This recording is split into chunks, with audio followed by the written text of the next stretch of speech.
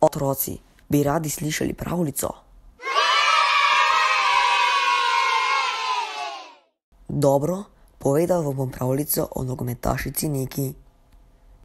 Daj, čakaj, gremo samo malo vode piti. O, Nika! Zdrav, Nik! Prijaš malo brca z nami? Nisem najboljša od nogomete. Vse vrej, se tam malo naučili. Dobro, teba prijem. Ok, Nika, mi bomo zdaj špilali nogomet 3. To pomeni, da si bomo zmislili eno pravilo. Ok, kje je to pravilo? Pravilo je, da tisti, ki naredi faul, šteje, kot da bi si dal avtogol. Ok, zmejano. Birkin, Continuo, se drar fram, är allt uppe! Nika, kaj me nisi prej poslušala? Zdaj si si dala avtogol.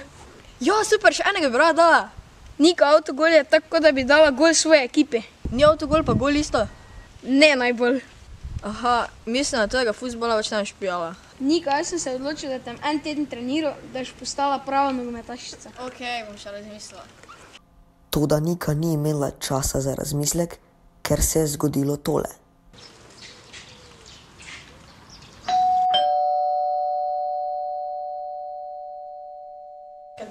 To te zvoni ob petih jutra.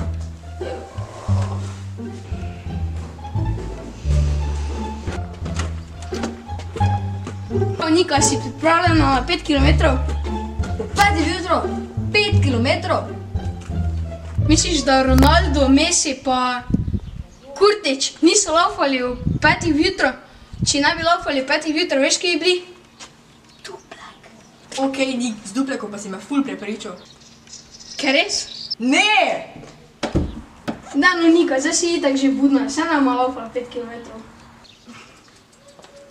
Kaj za hercaš? Tiš na pecika, jaz se moram laufati. Kaj ti moram še enkrat o Kurtiču razlagati?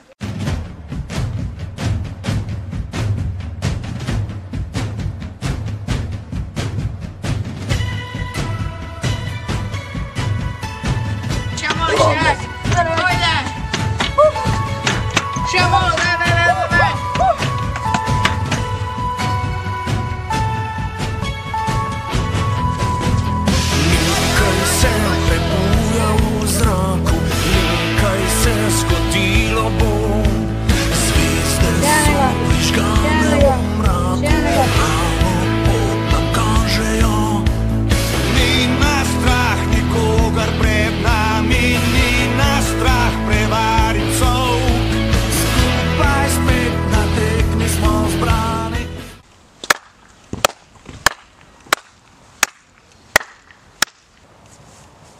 Kaj to je tudi kurtič?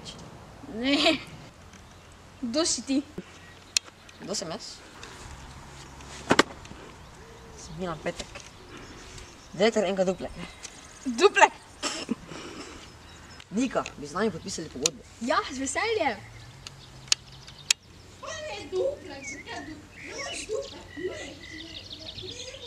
In to je bila zgodba o Niki, ki je dan danes najboljša nogometašica na svetu.